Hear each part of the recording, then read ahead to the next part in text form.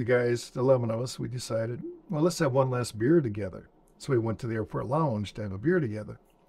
First thing the waitress does is ask for our IDs. And without even thinking, pull out our IDs. She's kind of going 20, 20, 20, 20, 19, 20, 20, 21. Okay, only one of you is of legal age. only one of you can have a beer. And here we were, just spent a year in Nam, but yet when we came home, we weren't old enough to have a beer. My name is Royal Hettling, and I was assigned to the 43rd S- Security Police Squadron stationed at Cam Ranh Bay Air Base in 1970-71 to the K-9 unit. Uh, We were going to a security police tech school at the time, and they came in and said they needed 25 volunteers to go to dog school. And when the day for volunteering came, they put us in a large room and said that 25 people will volunteer. And I wound up being one of their 25 volunteers. And once you volunteered, they had you step into an adjacent room and they had you sign a piece of note paper that stated, I volunteered. And then once you signed that, they said, You got the rest of the day off now. And everyone else stayed there until they got their 25th volunteer. And they did not get that 25th volunteer till rather late that afternoon. I wasn't exactly too eager right away at first because um, uh, everyone kind of knew what the situation was. And uh, I think I was volunteer number 16 or something like that.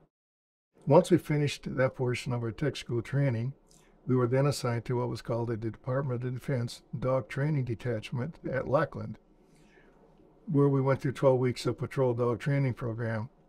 And we were about oh, halfway through that when we were told that uh, the majority of us would probably be going to Vietnam. And when the assignments came down, out of that 25 of us, 21 were given assignments to Vietnam, and 21 of us did go to Vietnam, and 11 of us were sent to Cam Ranh Bay, where we were assigned to the 43rd SPS K9 unit. We arrived there in August of 1970 on a Flying Tiger chartered air, aircraft. When we arrived there in August, when the, when the plane landed, the uh, we unloaded by by service branch of service. And when the buses rolled out next to the aircraft one thing you noticed immediately was the windows on the buses. There was no glass in them just chicken wire over the windows. And as each branch got off they went to their uh, individual uh, re- reception centers and for some odd reason the air force was last to go off and one of the things you first noticed when they opened up the doors of that airplane was the heat and the humidity. It was unbearably hot and humid. And for some odd reason, we were the last people that they unloaded, us canine people. And we didn't know why at first until they came back and told us that um, we were in such short supply there that they needed us so badly that uh, they left us on base or left us on the plane till last because they said, uh, what we're going to do, take you off now. You go to your briefing. Once you get finished with your briefing, go pick up your baggage, go through customs, get your currency exchange. By that time, the truck will be here to take you over to your side of the base. You're going to skip all the other formalities. And by the time that was finished, our kennel truck was there waiting for us. The day kennel cattleman was there and greeted us and uh, took us over to our east, what, what was referred to as the east side of the base. On our way over to the east side, the truck pulled over in front of what was called the Naval Air Facility.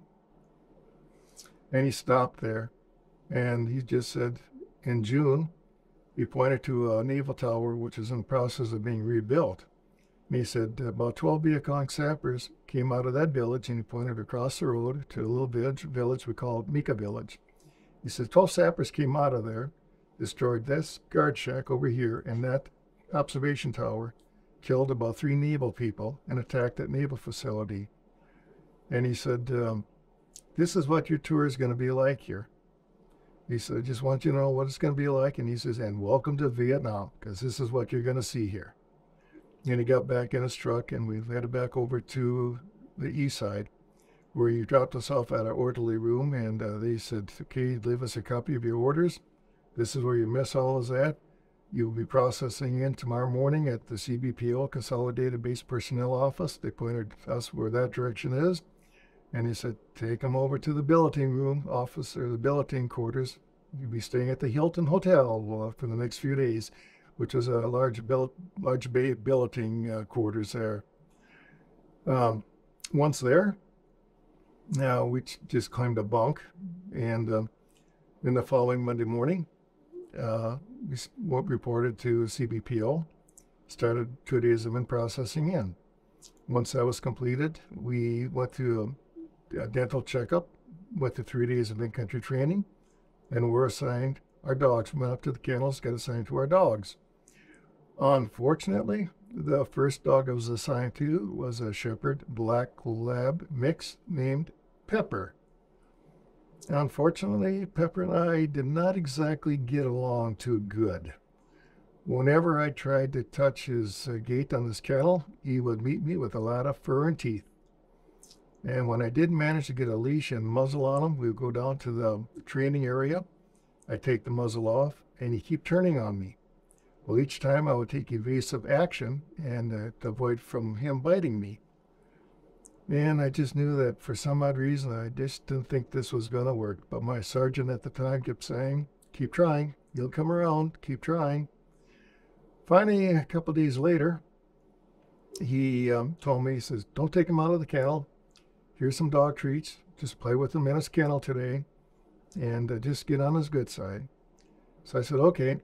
So I'm he let me in his kennel run right away because he knew I had those dog treats. So I'm breaking those dog treats in little pieces, giving it to him little piece at a time. And I'm down to my last little tidbit. I'm on the far end of his run. And I just gave him this last little bit, and I heard a little faint growl, and I thought, uh oh, I'm in trouble. And so I started working my way towards that gate, and all of a sudden, he had me. And it's a good thing. At, what was very popular at the time was what they called the under the wrist watch. It was a watch, watch you wore under the wrist, had a wide band, and you had two buckles on the top side of your wrist. He came at me, and I saw those big four big canine teeth coming, so I just shoved my wrist in his mouth. And he chomped on, on that band, and the first chomp, he had that band completely off and he was chomping down on my wrist while I'm trying to grab my other hand to get that gate open to get out. I got out, got the gate shut, and I looked at my wrist and he had uh, bitten me several times.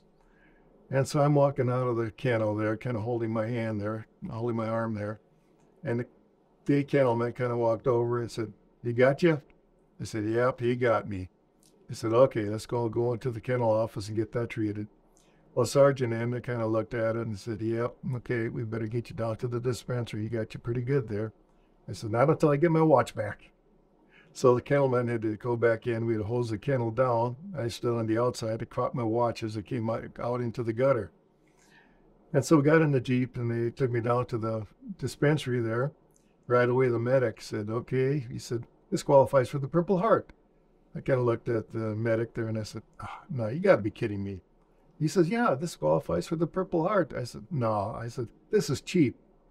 And he says, Well, it's an open wound. You've been bleeding from it. This is a Purple Heart medal. I said, Oh, you got to be kidding. Forget it. I said, don't, don't even write this up. I said, This is embarrassing. You're a dog handler and you get bit by your own dog? I said, I'm not going to live this one down. I said, Forget it.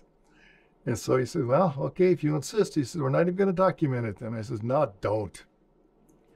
So anyway, I got a tetanus shot out of the deal, and they bandaged my wrist up. And by the time I got back to my hooch, right away it was all up and down canine. Well, hey, here that? Pepper got the new guy. Then uh, the kennel attendant says, well, don't feel too bad about it. You're only the eighth one he's bitten.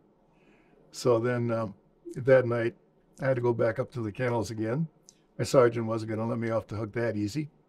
He said, well, you might as well get familiar with the posting situation around here. So you're going to ride around on the posting truck.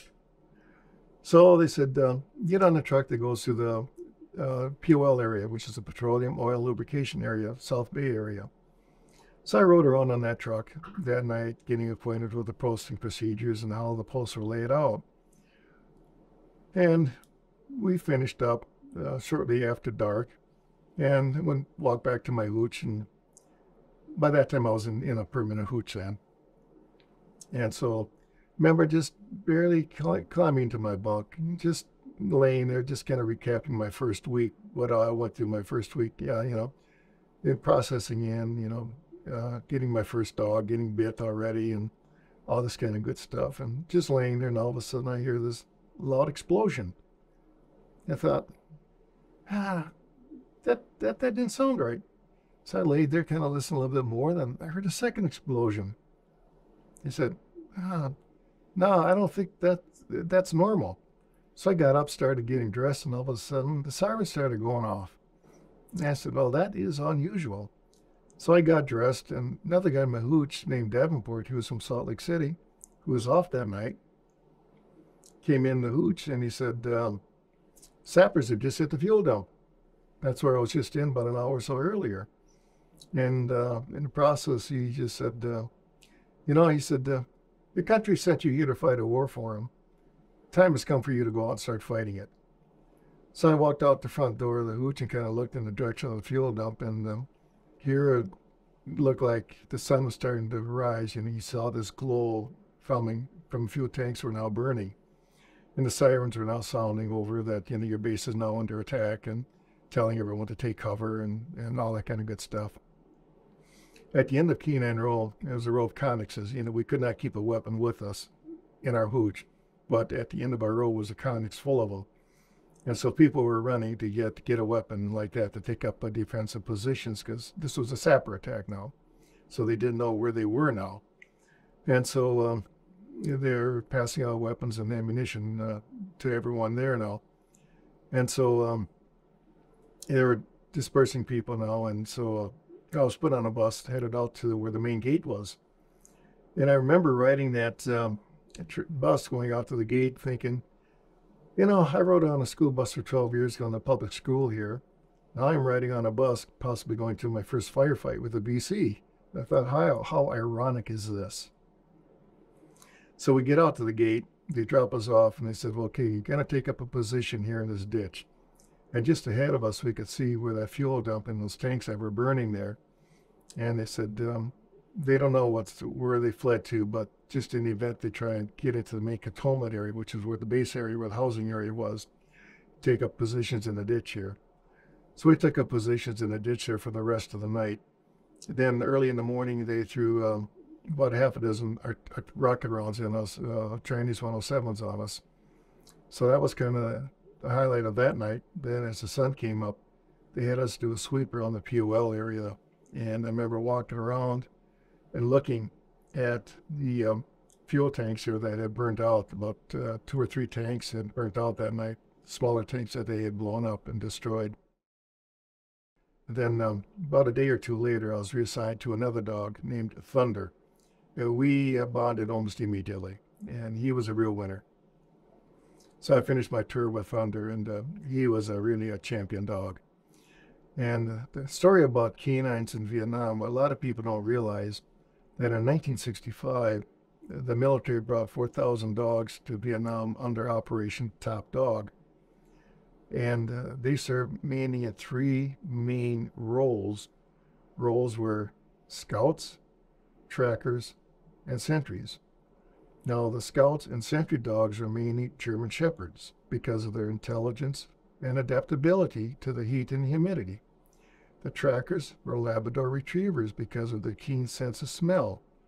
Now the trackers, they would go out with the infantry units once when contact was made, and they would track down the bad guys to see where they would into a village or into a tunnel.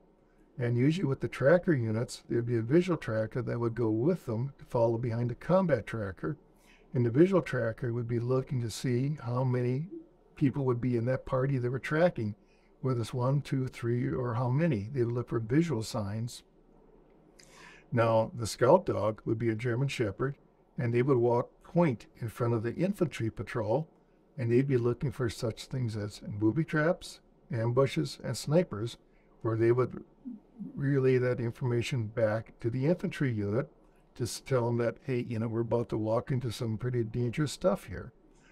Now, one thing that was nice about the scout dog, if there was a booby trap, especially if there's a tripwire, the scout dog's hearing was sensitive enough.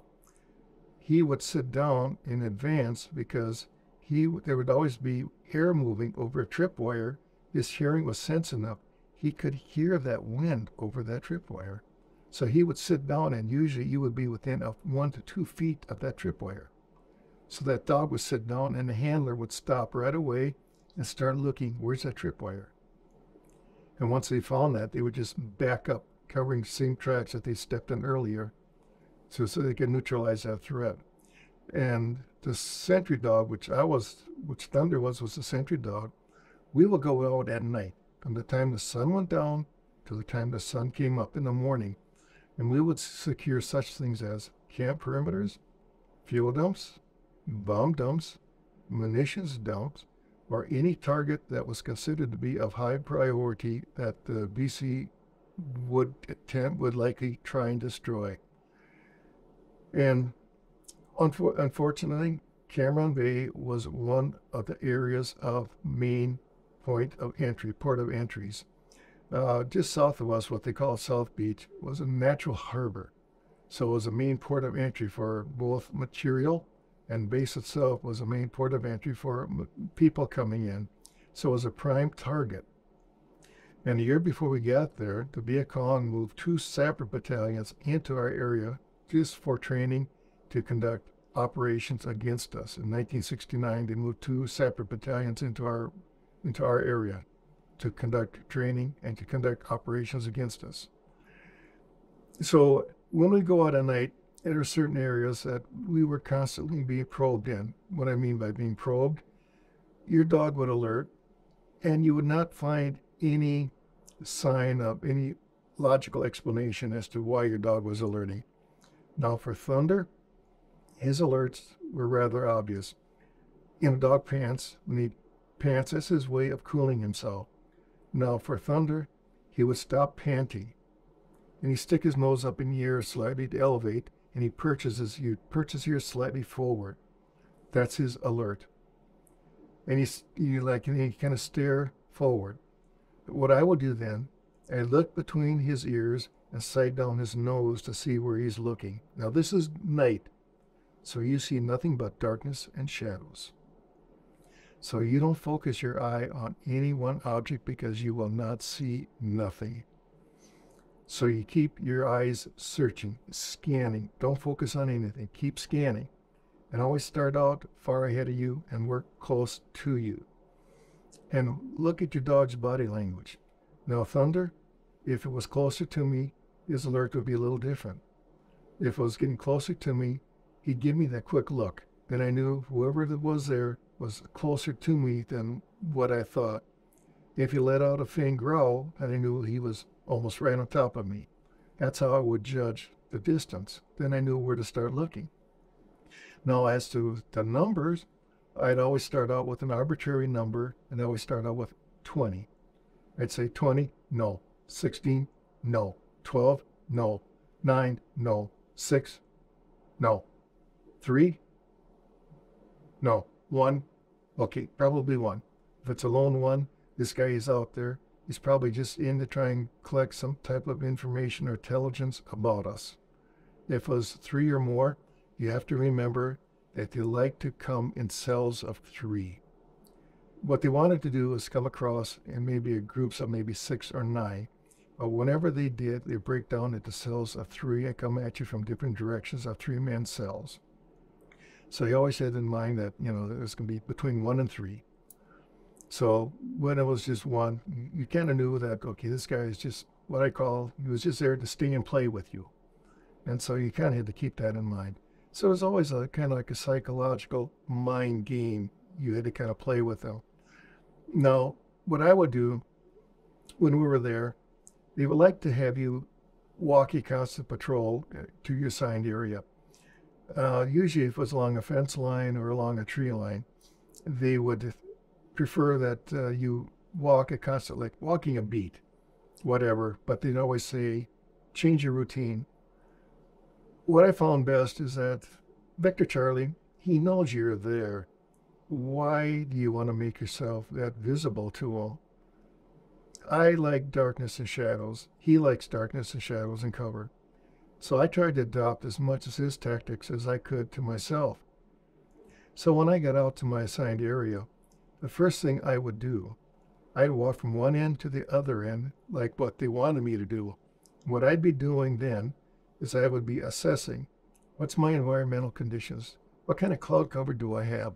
Um, uh, what kind of lighting conditions uh, is there tonight? How are the shadows falling? Um, what's uh, uh, what's the wind direction tonight? Because one thing for a sentry handler is you want to take in what is your wind direction, and the best way to feel that is in your face. So one thing we never wore a hat, and this is what a lot of people said. Well, where's your helmet? Where's your hat? We said we'd never wear it because we always wanted to feel that wind in our face. And once I walked from one point to the other end, I'd be always asking myself, now, if I was Mr. Victor Charlie, if I was going to come through here, where would I choose to come through? And I pick out a spot that I thought I would pick. Then I would go back into the woods. Go, I pick out maybe 30 or 50 yards back in the woods, and I would backtrack. That's what we call quartering. I would backtrack just to make sure that it was clear. Then I would proceed to the spot which I thought was best for me to stay, you know, for the night, which would offer me the best cover and concealment, which was the most dark and the area with the most shadows, and I would get into it. Now, we always carried a small two-way radio with us. Well, small at the time, but rather big by today's standards. I would turn the volume of that radio down so low I could just barely hear it myself. For the simple fact, I did not want no one else to hear it. I did not want no one else to, did not want the radio to give me away. So I turned that volume down so low I could just barely hear it myself. And once I got to my spot, I'd always pick out a spot where I could see my area as much of it as I could. Then I try and stay in it, minimize my movements. And if I moved, I tried to move no more than what my shadows would permit me to move. And if I did move, I tried to stay within the boundaries of the shadows would permit me to. And so then I would try to move around like that the entire night. And many of your nights would pass without incident. Some of your nights were just the opposite. Some nights, uh, the stress level would be rather high because, you know, your dog would be alerting. That's when you kind of know, okay, now it's the mind game. Now he's not playing with me. He knows I'm here somewhere. Now let him try and figure out where I'm at and uh, so that that's that's the mind game starts playing in there, and uh, so that's that's where the stress level starts rising. Other nights, the stress level gets really high. In fact, in one night in particular, I'm going to recall here very quickly. I was posted on position on what we call area on the North Bay. There are strip flares going off in the wire about every hour, hour and a half the entire night. I wasn't calling them in, but we had a tower gunner who was calling them in. Central Security was calling me then and saying, Do you confirm that trip flare burning? And I'd say, Yes, I do. Then they'd always say, Can you investigate as to why did that trip flare go off? And I'd say, Yep, okay, I will. So I go down, I look at it, and we had what we call a SAT team, security alert team. If you could not verify why that went up, you were to call them. That was your next chain up. And so I call them, and they come, and they say, well, an animal set it off. Well, you really wouldn't argue with them too much because, you know, they were kind of set in their ways, and you did not want to really argue too much with them because no matter what you said, it wasn't going to make any difference. So you'd say, okay, well, whatever. And they go on their merry way, and you go back to where you were. Well, an hour later, another trip flare went off. You play this, do the same routine again. Okay, fine. Hour later, another trip flare. That went off the entire night. Okay, just as the first streaks of sun is coming up, the last flare goes off. You go through this routine again. Okay, you're down there, you're looking at it. Up this time, you see in the sand, there's an area in the sand that looks like it's been slightly swept with something, like about a foot and a half wide, or a foot and a half long, about a foot wide, like it's been lightly brushed. It's got a different wear pattern than the area around it you're looking at that and you're saying, Okay, this looks a little odd here. So you call for the SAT team again. This time they're getting a little annoyed with you for calling about every hour now for this. They arrive. The sergeant gets out of his jeep, looks at you, and he's looking a little peeled at you. He says, "An animal," and you're just saying, "Ah, oh, hold on a minute here, sergeant. You better look at this. I, I, I just don't think this is an animal here." They said, "This is in the wire here," and I said, uh, "There's no tracks here. Animals can leave tracks. There's no tracks here." And he said, he just looks at me. He said, "It's an animal, and don't you question it." And I kind of look, was trying to get him to look at it, saying, "Look, look, better look at this. Call it undecided." Well, he kind of gives me this. If you know what's good for you, look, you know, you shut your mouth. So he calls it in as an animal. Okay, sun's coming up. We're all going to be out of here shortly. I, you know, what do I care at this point? Following night, they come through. Well, they kill a couple of them there. Well, that particular night, Emerald are bound up on the far end. We were being probed pretty heavily there that night. Or earlier in the year, we were being probed pretty heavy. We have no support. They've taken all of our backup. They moved that way. Okay, I'm on a post that is heavily overgrown with brush on both sides. And you've got no backup now. They've taken everything from you. And you get a call from Central Security. They want you constantly patrolling your area. You just look at your area and you just say, okay, if they intend to blow this dump tonight, I'm on an area where either they're going to be passing by me, either coming or going, entering or leaving. They got to come through me. Uh, this is probably one of the areas they're, they're going to come through. And you just kneel down by your dog. You can just kneel down with Thunder and you just talk to him say, Thunder, you can just give me one second. Just give me one second. That's all I need is one second. And you just pet him a little bit and tell him what a good dog he is. And you just stand up and you check your rifle over again just to make sure that that's working okay. Check the magazine, you know, you feel that spring in the bottom, you know, reload that magazine in it, and you put a chamber in the round, and then you put your selector to full automatic, because you know that if they're going to come through there, you're not going to have any time to get any radio message off or anything like that. The only way you're going to be able to warn anybody is see how long you can hold your finger on that trigger. And so you just start walking down that narrow lane, and your mouth is so dry you can't swallow. Your heart is not beating in your chest, it's pounding in your chest, and you're trying your darndest to walk on air. And once you reach the other end of your area into the clearing, you see the, reflection of your own shadow, and you darn you empty a clip into it. That's how tense you are. But you catch yourself just short of doing it.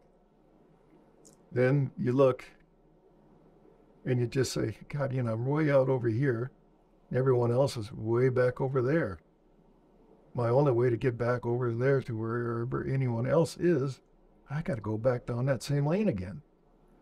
So you go back to the same emotion again, going back down that lane again, thinking, well, they weren't there the first time. They may be there this time. So you go back through that again. Well, you make it through there the first time. When you get back there, now they tell you, keep going, got to keep doing it. For the next several hours, you're doing that. Well, it turns out that you were okay that night. Nothing happened that night. It was all over where you were the night before. But you come in in the morning, you uh, climb into your bunk. You really don't sleep good because you're just so wound up yet. You uh, get up, you head to the latrine, you look at yourself in the mirror, and you see a face that's totally void of all emotion it's just got a blank look on his face. And you, you don't see a 19 year old kid anymore. You just look at a face that looks like he's 40 years old now all of a sudden. This looks like he's aged that much in one night. And that's just way one night went. And so you have nights like that. But then you have a lot of nights, though, too, where nothing happens. It's just, just routine nights where nothing happens. But then you have nights where you uh, go out there and uh, all of a sudden you just get this feeling in your gut that, you know, I'm not alone out here. There's somebody else out here and he's watching me. But where is he out here? So you try every trick in your book that you know of to flush this guy out, and you're not finding anything. And your dog is not alerting.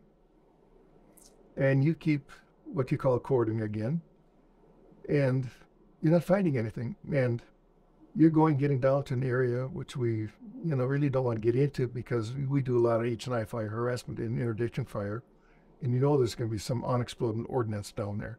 So you don't want to be stepping on that because it'd be just my luck I would find it. So you get down in those gray areas which you don't want to get down into. You get out that far, so you kind of pull yourself back up. And there's a bee out in front of us, in front of me there that night, and uh, so I kept taking there that, ah, you know, this feeling's just not going away, but this feeling is there that there's something there where he's watching me. And uh, so you get nights like that where it just don't go away. So then finally you see the first streaks of sun coming up in the morning. You're just thinking, it's, uh, there was nobody there. It was just me and my imagination. So if you just sit yourself down on a little bit of a sand dune there, and you're just starting to recap the night a little bit, and you're just kind of petting your dog there a little bit. And uh, the tower gunner, just uh, north of you a little bit, he gets on his radio and he says uh, he's calling for a mortar flare to be put up because he thought he saw something moving down there where you just were walking just a minute or two before. So right away you're just thinking, ah, he just saw me down there, and he's just just said, thought, um, precaution, I'll just have a flare put up just to be sure. So you're not putting too much uh, uh, importance on it. So you just stand up and you're just kind of watching, and you you hear that flare passing overhead, and you know mortar rounds. You you hear them going, coming overhead. You know, then you hear this flare ignite, open up, and the area illuminates, and guess what jumps up? One of them jumps up and he runs out into the channel, and you just stand there and you just look and goes, "Doggone it! There he goes." All you do is just stand and point. There he goes. that sapper didn't even hardly made a ripple as he ran out into the channel. And I kind of looked down at Thunder there, there, and he just kind of looked at me, up at me, and he says, just like if you could read a dog's mind, I didn't know he was there either. So you got to give those guys, the Viet Cong we're referring to, credit. They were very elusive. In fact, um, we actually found one point um, that they were actually rubbing their bodies down with animal fat which deadened the human scent, as we trained our dogs to alert on the human scent, not the animal scent. And so we actually found that on, on one of the bodies that they left behind, that they found animal fat on. And so at times before that, they had actually dropped stink bombs, stuff like that, to follow up the dog scent. So we found it hard to to uh, to trail them. Um, a lot of times when they throw a strong alert when we would be trailing them, we go by both ground scent, you tracking, and airborne scent, or vice versa, or they would alternate. As there would be times that uh, they would alert, we'd be following the uh, airborne scent, then it'd be a 90 degree turn, like maybe 50, 100 yards, be 90 degree turn, and we'd be tracking. Then be another 90 degree turn. Now we're going by airborne scent. Then another 90 degree turn. Now we're tracking again. Another, another 90 degree turn, airborne scent. So we'd see a lot of turns like that. So we knew we were following a human. They're not an animal because an animal would not make sharp 90 degree turns like that all the time. So we knew that was human. So, but those people, you got to give them credit. They could blend into the underbrush like you wouldn't believe. And uh, they were masters at doing it. And I know there was nights uh, that Thunder would alert, and I'd start following their alert. And I'd be lucky if I even saw a brush hardly move. And I knew they were there. And occasionally I'd see maybe some brush moving, wiggling in front of me. That'd be about it. And uh, so that's how, how, proficient they were. When I talk about a sapper, you know, a sapper is a, a Viet that's very proficient in evasion techniques and in penetration techniques and in demolition. He had a lot of training in it. He wasn't your run-of-the-mill Viet Cong. This guy was highly trained and very proficient in, in those areas. So he knew what he was doing. And usually when these people come ashore, they'd usually be dressed in maybe swimming trunks or a loincloth, something like that. So they were very, um, very, um, uh, very agile and uh, like that. And weaponry, They'd either carry a Chinese made 9mm pistol or maybe just a knife. That's all they'd be armed with. And the rest of what they carried would be uh, their explosive, explosive devices. So, but uh, we got to give those guys credit. They were very good at what they were doing. Unfortunately for us, we were along the coast. So we were hampered in quite a few ways. The uh, population was moved from inland to along the coast, so that we had an ever growing population of civilian population. And we had the ocean on one side of us and the bay on the other side. So whenever they did stage a successful attack against us, they would always flood the waterways with their sampans. And with their sampans, they fill them with women and children. They knew when the Viet Cong fled our base, they would blend in, they would climb aboard these sampans and blend in with the civilian population. They knew we would not fire upon them. So they knew they had, they'd say, they had a safe getaway. We knew that that would be adverse publicity for us if we fired upon them. So a lot of times we would just watch them get away. There's nothing we could do about them. And to top it off, a lot of times we'd get permission from the local public officials before we could even do anything either. And in a lot of cases, the public officials were sympathetic to the Viet Cong cause.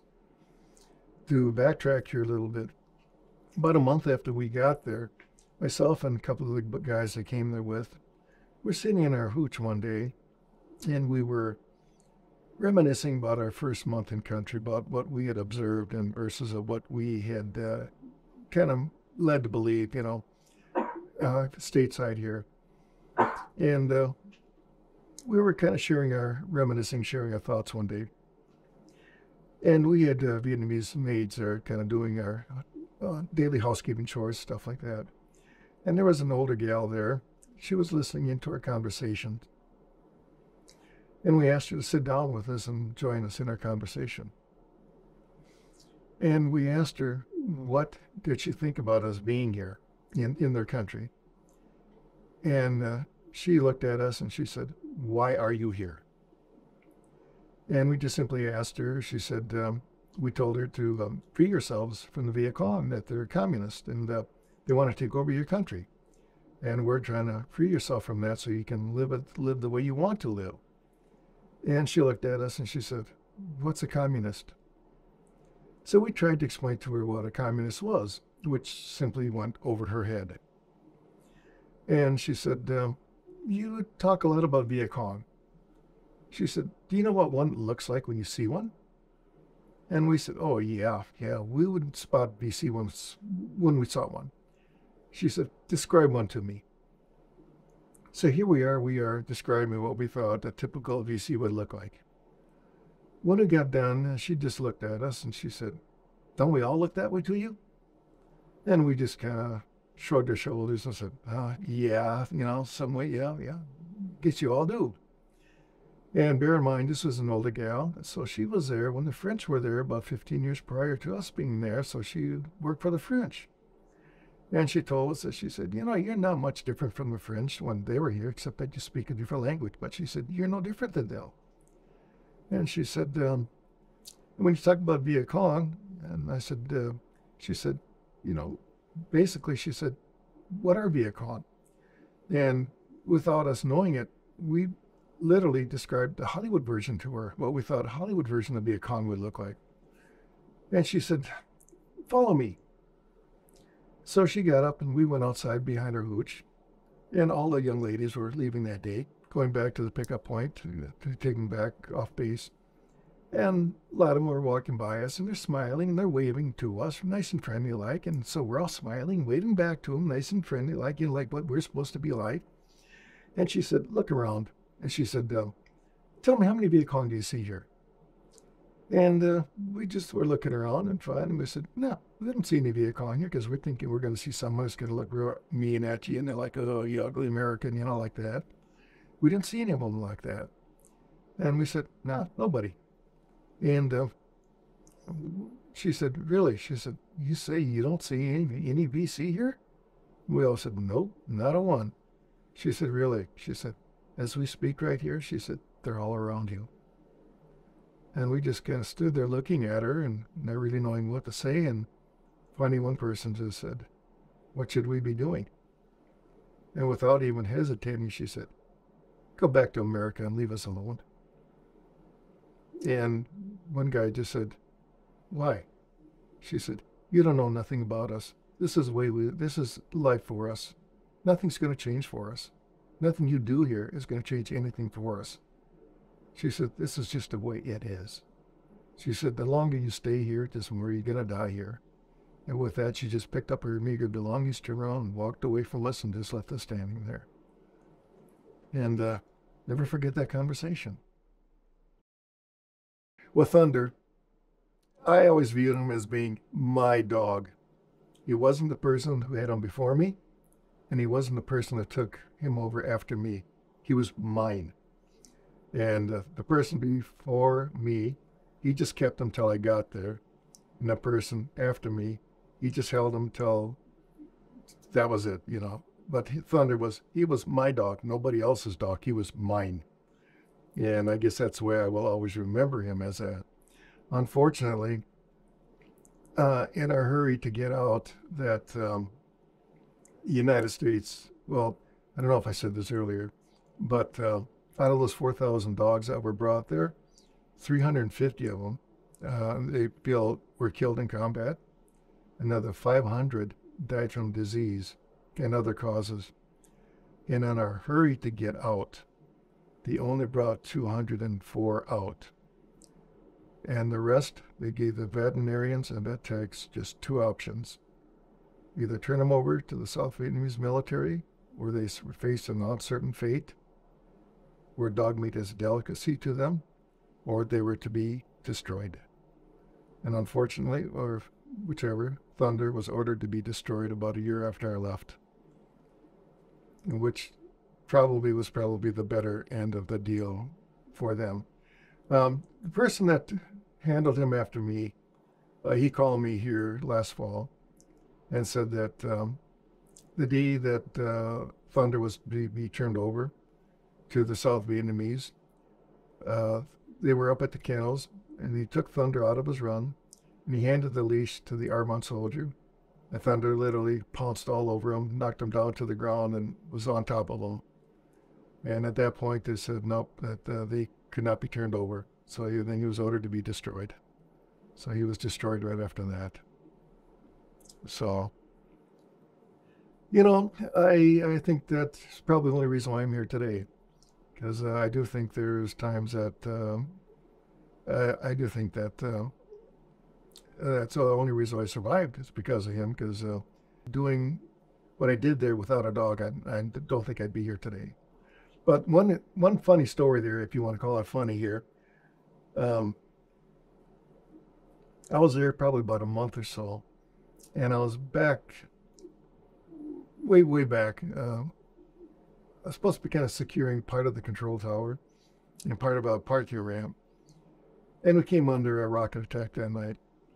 And uh, you're still fairly new in country there, so this is still, you're still part of that learning curve. You know, you're kind of learning how things do. And I'm starting to watch the rounds coming in. You know, they're coming in, I'm kind of watching them. They're coming in a little closer and closer and a little closer. Finally, it dawns on you that, hey, you know, these things are getting a little close. I should think about getting cover, taking cover here. So in your um, inexperience here, you kind of look around real quick. You know, where's my best cover? And there's a lot of sand. The sand blows around like soldiers here do. And I saw a little a tr- small tree, and there's a, like a little crater that formed around that tree. So I thought, ah, oh, there's good cover for me. It was about 20 feet away from me, so I covered in about two or three steps, and I dove in behind it, you know, down inside there.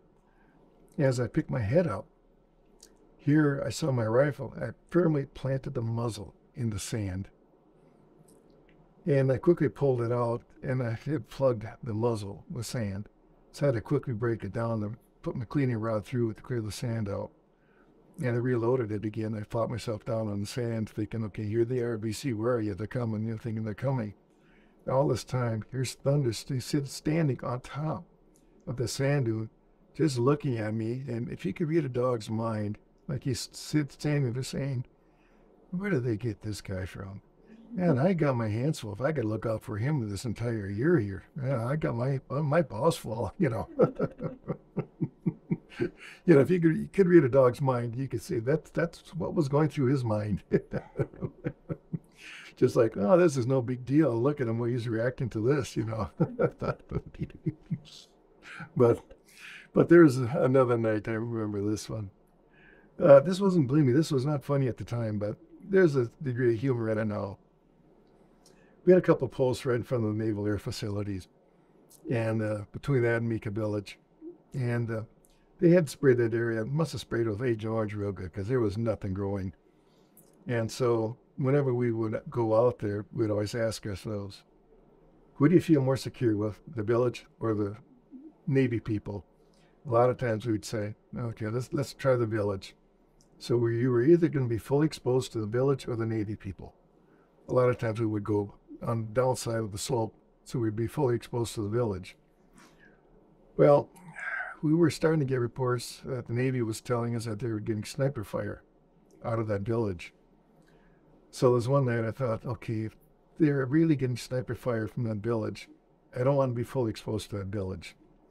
But I really don't want to be fully exposed to the Navy people here too, because now they're going to be jumpy on, on the trigger too. So I found a crater, impact crater from a rocket artillery round, and I landed there. So I dug some old driftwood, deadwood over, dropped it down behind me, give myself just a little more cover from the Navy people. And I crawled into this crater, and I could kind of see in front of me the village in front of me. If I stuck my head up behind me, I could see the tower gunners behind me. So I thought, okay, this will be good back here. So we're sitting in this little crater just about the entire night. And finally, you know, my legs started to ache. I thought, God, I got to stand up and stretch you. You know, I can't take this any longer. So I said, I'm going to chance it. So I stand up. All of a sudden, your two machine gun bolts snap forward, M60s. I thought, oh, crap. First thing that goes through my mind is, okay, there's ever a time to do something thoroughly stupid, this is not it. So I'm standing there, I'm kind of waving to these guys saying, hey guys, you know, don't worry about me. I'm on your side, guys. You know, don't get trigger happy here. So I'm telling Thunder, hey, Thunder, come on up here. Let them see you. Come on, come on, be a good boy. Come on up here. Let them see you. Me standing down there in that little crater looking up at me saying, you know, my hearing is better than yours, and I heard those two M60 balls go forward. Do you think I'm dumb enough to stand up there like you? and I knew at the second I dropped down in that crater, those two both, those two machine guns were going to open up. So I kept standing there, kind of waving at him. Finally, said, "Come on, Thunder, get up here! You know, get up here!" And finally, he wouldn't get up there. So finally, I got walked clear out of that crater, and he had to come with me. And finally, they could see who I was. And I just kind of stayed up there for a minute or two. Then I got back down to the crater and I didn't get out of there till the sun came up. So when went to the relief point, which was back at the gate shack for the naval facility there, the entry point there, their guard came out and said, Was that you got up there about three o'clock this morning? I said, Yeah, I had to stretch my legs there. I said I couldn't take it anymore. He said, You know, our two tower gunners had uh, permission to open fire on you. I said, Yeah. I said, I heard those two bolts go forward, 60 bolts go forward. I thought, Oh, crap, I'm in trouble now. He said, Yep, they had ordered, they, had, they were given permission to open up on you. I said, And I said, Well, why didn't they? He said, Because I got on my radio, told me you better double check first to make sure there's some guy walking his dog first. so I said, Thanks. I said, Always got to make sure of that because we're out there. But yeah, yeah, he wasn't a dumb dog, that's for sure. He was a smart one. And so, but yeah, that's just one of those little funny stories there that you think about later that he was standing down on that little crater just looking up at me saying, yeah, if you're dumb enough to stand up there, you know, I'm, I'll stay down here, you know. Military really did not keep a lot of detailed information. And so even a lot of the numbers I gave to you, they just, they're estimations. They just estimated 350 dogs were killed in combat, and they estimated another 500 died from other causes. In fact, they also further estimated that dogs saved an estimated over 10,000 American lives and prevented over 75,000 wounded. Those are just estimated. And uh, then, too, I've also seen the numbers go as high as 17,000 lives they saved. So um, there's no hard or true answer either way. Those, those are just estimations. So it's how a person wants to interpret the numbers. I think people uh, uh, value their service now more than what they did back then. Because back then they were actually determined to be equipment. And that's why they were declared surplus uh, animals back then, because they were classified as equipment. That's why they were so easily written off. Where now that they're de- determined to be more valuable, uh, more valuable as a as a service animal now. Their value is actually placed uh, equal to that as a person now. So, so I don't know if I said this earlier, but before the military, when the service life was over with, they were destroyed. Now, they're put up for adoption. So that if you want to adopt one, you can. But you have to be vetted as if you're going to adopt a person, a child. You go through the same procedure. And once a dog is available and once you've been approved, you can adopt one. I think the first use of dogs actually started back in World War One, and I don't think it was really. I think it was more incidental. I don't exactly know the exact history, but I think it was more incidental. It was a dog named Stubby, I believe. You started more as a pet, and then it turned out that the pet found, found to have some uh, military value by uh, accidental contact. Then during World War II, these saw some value with dogs during the World War II, the Doberman Pinscher, especially in the uh, South Pacific Islands. Uh, the military used them. Then in Korea, they used them more so than Vietnam, more so too. Over the years, uh, talking with other Vietnam vets, I always got the sense that there was a need for closure. That they, a lot of them were lacking that uh, closure because of the anti-war protests. Because um, when I came back, the public, the country was divided right down the middle, and you didn't want to talk about it for the simple fact that you did not know the person that you were talking to what their opinion of it was, and so you never you never brought the subject up. And so, in 2006, the city was having 125th anniversary, so I thought would be a good event for that was to bring the traveling wall here. So about eight years prior to it, I started talking about people about, you know, could we raise funds to do that? And uh, I said it's going to take quite an effort. And it's going to take a fair amount of change, money-wise, to do that. And it really was not a well-received idea at first, because mainly for the uh, money-wise, because people thought that was just too ambitious of a project, and uh, I thought it was just going to hurt other causes and uh, every reason whatsoever. But uh, I just felt that, you know, given time and given some planning and, you know, given a little hard work that, you know, we could do it. I just felt, I felt we could do it. So I went around and kept talking to people I kept kind of trying to encourage people that we needed to do something to bring closure. And I kept talking and kept trying to promote it. And slowly but surely the idea did kind of catch on, and with a little help from uh, from a few organizations, some few entities, you know, it did catch on. And we did show people that, you know, there was a few of us who were willing to work. We weren't afraid to work, and we were not interested in handouts all the time. That we were willing to work for, put on activities, you know, social activities, that we were willing to accept funds. You know, if you're willing to donate, fine. You know, if not, we're willing to work and put put on burger feeds, and whatever, uh, to raise money, and uh, that uh, we're willing. This is a goal we wanted to do. So in 2006, we had the traveling wall here, which is a half-size Vietnam memorial for the Vietnam Memorials Fund, which is uh, what the wall in D.C. is a part of. And when it was here, we estimated that about 10,000 people come to town that weekend to see it here. And we put on an opening ceremony in the high school that Thursday night. And the people were commenting afterwards that um, this was probably one of the better events that ever occurred here in town.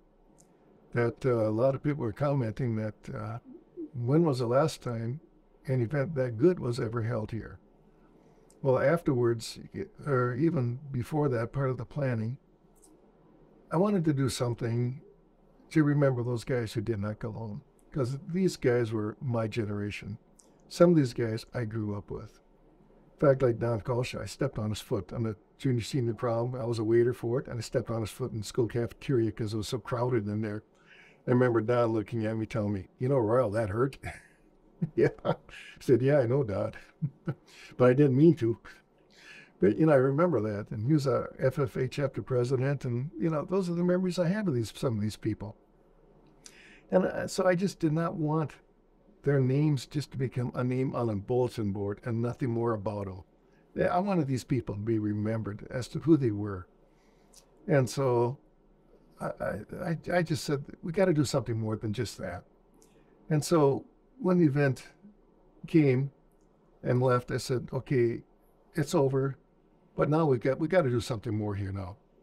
And so I didn't know what to do here, and uh, so Charlie kind of had this idea here, you know, about doing this and memorializing him here too. But he kind of wanted to go much more than just remembering them. He wanted to cover more of the history of how we got involved there and and, and tell people the story of Vietnam, what all happened there. So this is actually a product of uh, bringing the wall here and and uh, how how this whole process came about. So as you can see here, there's quite a collection here of, of the memorial section behind me here, remembering these people who did not come home. Uh, over here in the side, a little dog set up here, tribute you know, to what dog teams did there. And then back here, we got a little Viet Cong section set up back there where we have actually a mannequin of a lady, uh, Viet Cong woman's uniform there. Uh, you know, a timeline showing how did the U.S. actually get involved there. So a person wants to come in and browse, they can browse for some time here. Um, some people come in and they'll tell us that uh, they've learned more than what they've ever known before. In fact, uh, we've had some high school students come in that said they'll learn more in one hour in here than what they learn in a week in the classroom. So we get a variety of uh, feedback. So hopefully this will continue and hopefully people continue to come in.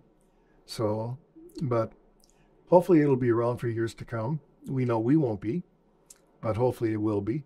So, we hope there'll be a legacy here somewhere. Uh, just how or what, we don't know yet. So, we're working on it. What I would like to do here eventually is I'd like to get a German Shepherd dog here, replace my garden variety statue here. But I know that's a little difficult there because when I talk to vet clinics and humane societies for a possible donation there, uh, you know, you're talking about a family pet, family member. Uh, yeah, I know how that is.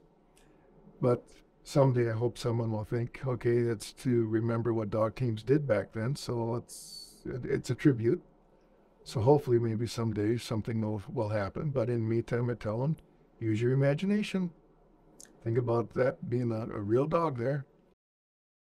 Getting it out to the end of July here. Actually, I contemplated extending for another tour now. Well, when I told the folks about that, they totally came unglued. And uh, uh, because I kind of felt somewhat comfortable, if you want to use that term, comfortable. And I didn't know if I, you know, would feel that way stateside. And they they, they laid a guilt trip on me that I couldn't handle. I was a bad kid and all that kind of good stuff. How could I do this to them? Now you're a terrible kid. You know, you you know, I got all this, you know, disappointment to them and all that, you know, all that your bad kit type of stuff, you know, all that kind of good stuff. So I chose the DEROS. So I got about three weeks left. I'm out, and then bombed out. And the SAT team came around, the machine got her on it.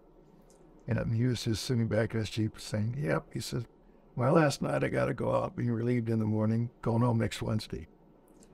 And I said, Oh, really? And I said, Nah, I said, I'm not far behind you. I told him I had like, what, 28 more Ds or something like that left. He looked at me and says, Oh, you're in the group going home in August? I says, Yep. He says, No, you're not. We said, What do you mean? He said, You're going home next Wednesday with me. I'm standing there saying, Oh, yeah, sure. Tell me all about it.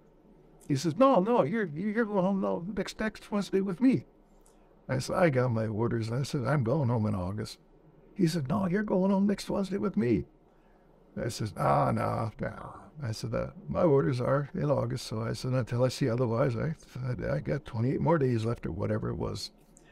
So two more days passes, and all Saturday morning, we come in, and I'm about ready to climb into my bunk. another guy from Lincoln, Nebraska comes in, our hooch, and he says, Hey, have you heard anything about us going home on Wednesday? I thought, oh, God, he got that rumor started.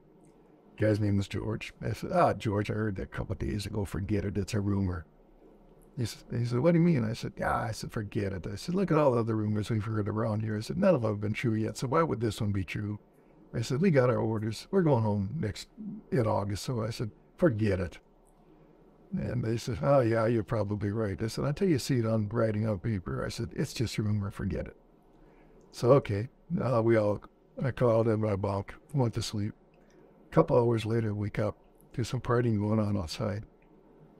One of the guys, Steve, comes in and starts shaking me in my bunk. He says, Get up, we're going home Wednesday.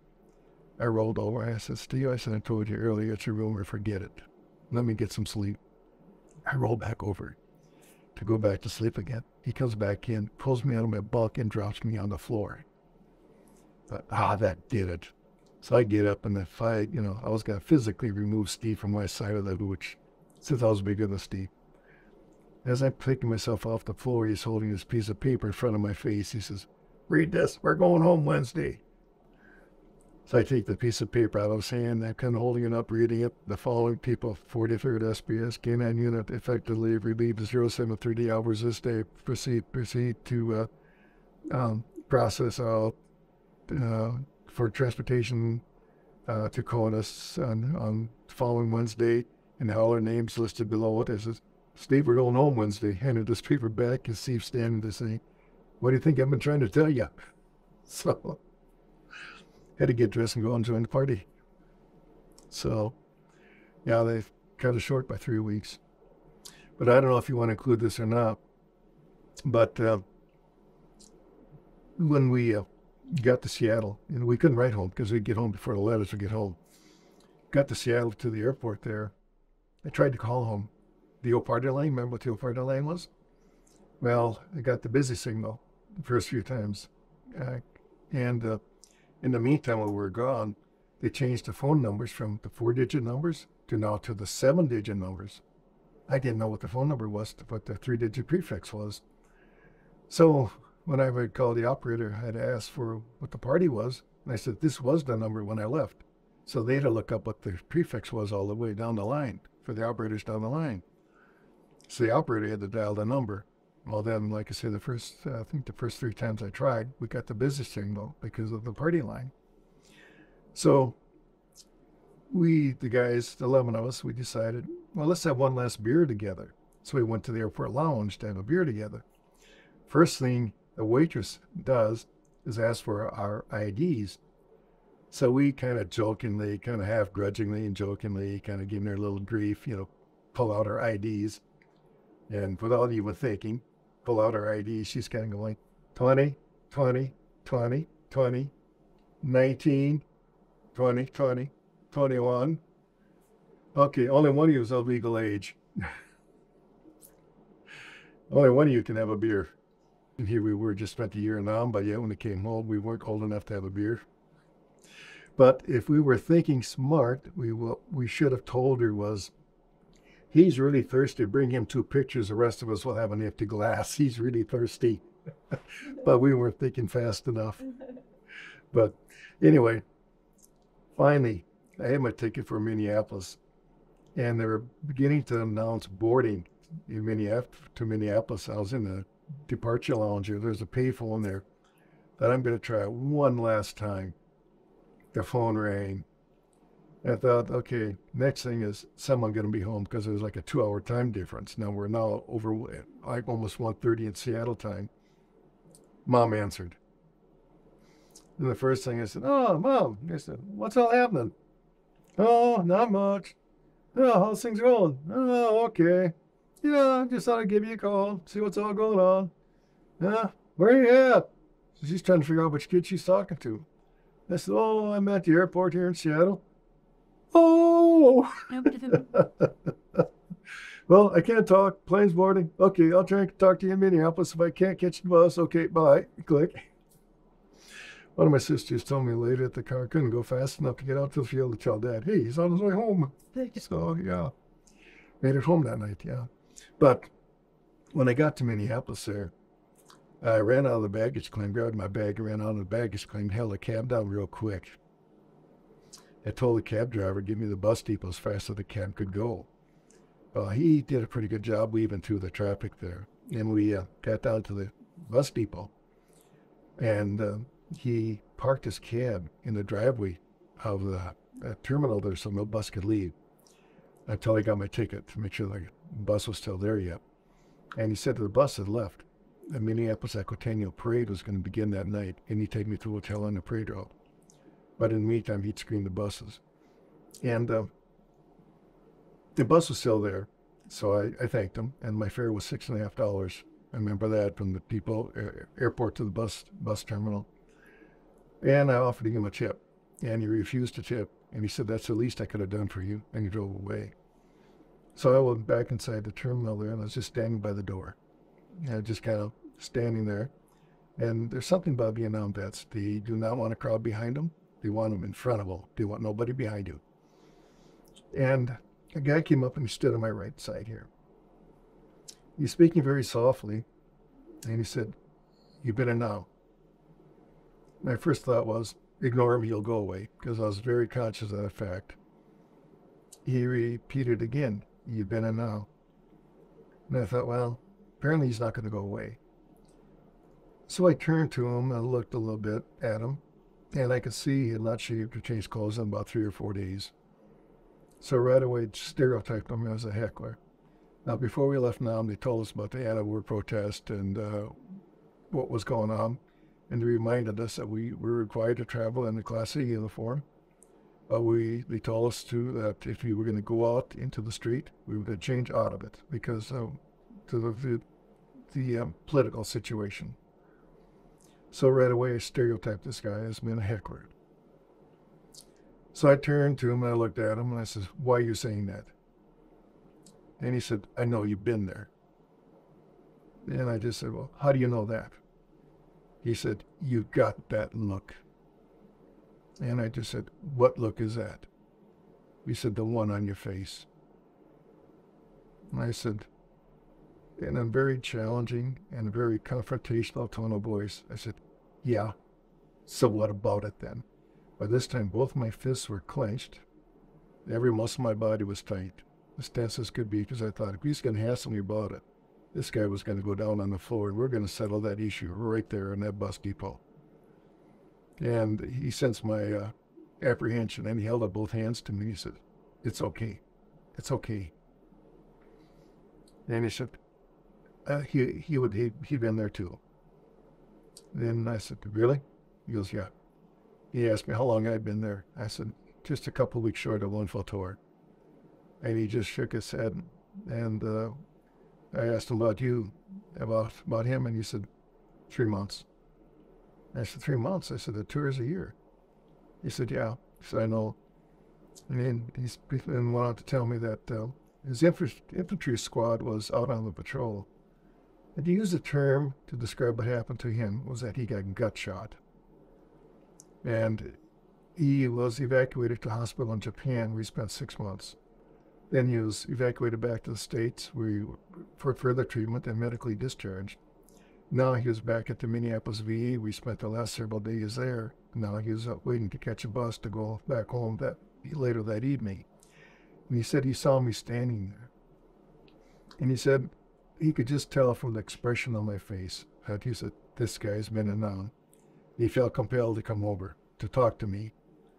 And uh, I was a little apprehension, apprehensive about it at first. And he said, uh, I just want to shake your hand, uh, which I did as, as we were talking there. Then in the background, I could hear they were now calling, loading the bus to come here to Minneota. And I said, Well, that's my bus. And he said, I want to shake your hand and tell you that you have a lot of courage. And so I shook his hand. I said, I wished him the best of luck. Then picked up my bag and turned on and walked out the door, got on the bus and came home. So I don't know whatever happened to him after that. So, but I thought that was kind of a, a nice little ending there to that, that day there. And uh, rode the bus home. And I remember when I stopped at Marshall, I sat in the back seat because I didn't want no one behind me. I wanted everyone in front of me.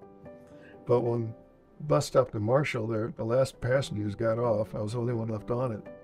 But each mile road, I was clicking off those seats, one, two seats at a time. Till we're just outside of Ghent here. By that time, I was sitting behind the driver, trying to peer out the window, trying to see, okay, now what's changed in the past year here? Couldn't see anything. Till I got to town here. When they drove, stopped right out over here, got out there, and folks weren't around. They were late. And got my bag out, then I turned around and looked, and I saw him coming, coming around the corner then. So, so that was coming home that night.